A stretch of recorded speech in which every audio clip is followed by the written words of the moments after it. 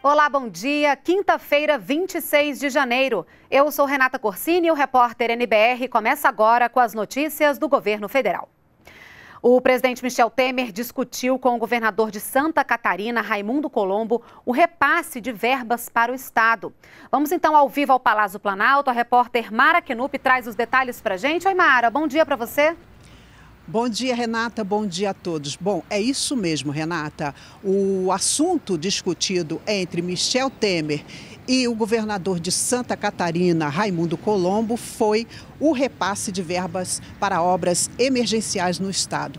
Colombo também pediu ajuda federal para promover a segunda etapa do Fundo de Apoio aos Municípios. O governo de Santa Catarina quer repassar 700 milhões de reais para os 295 municípios.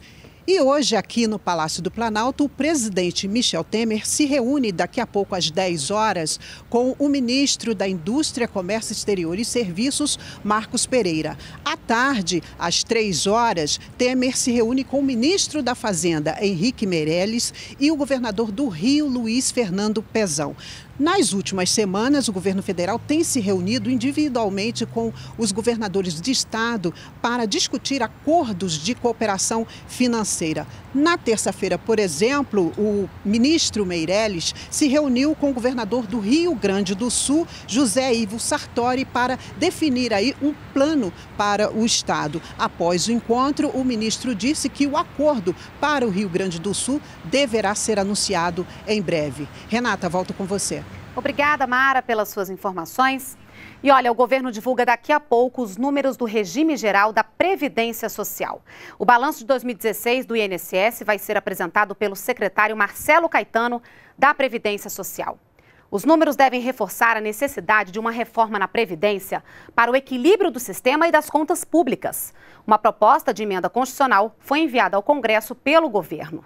Dados divulgados em dezembro mostram que o déficit no regime geral está em torno de 8% do produto interno bruto, que é a soma de riquezas do país. Se regras atuais forem mantidas, o valor atingiria 18% do PIB em 2060.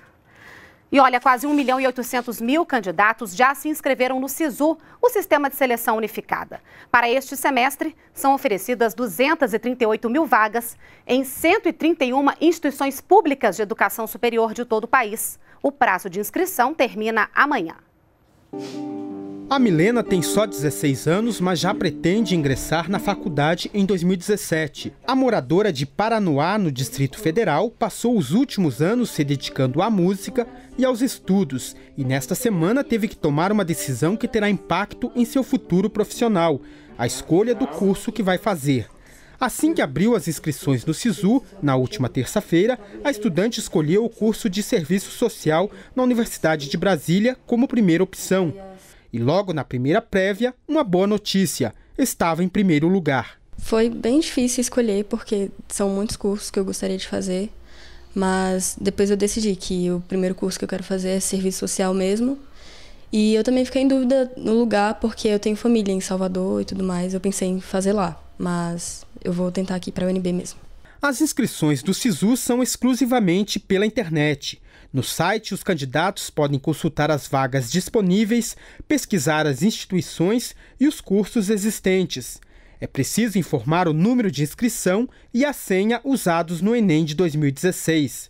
Os alunos podem selecionar dois cursos em diferentes instituições.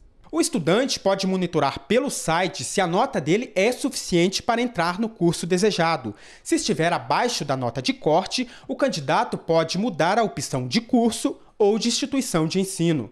Escolher a futura profissão em meio a tantas possibilidades não é uma tarefa fácil. Este professor de uma rede de curso preparatório de Brasília recomenda que o candidato monitore as vagas até o encerramento das inscrições. E também está observando todo dia nas atualizações se ele continua dentro dos classificados. Né? Uma vez que, se outros candidatos se inscreverem com nota superior e ele for retirado do limite do número de vagas, ele pode pleitear outra instituição, ele pode pleitear outro curso, inclusive. Então está observando isso aí até a data do fechamento, o horário de fechamento, que ele aumenta as chances dele de ingressar no ensino superior.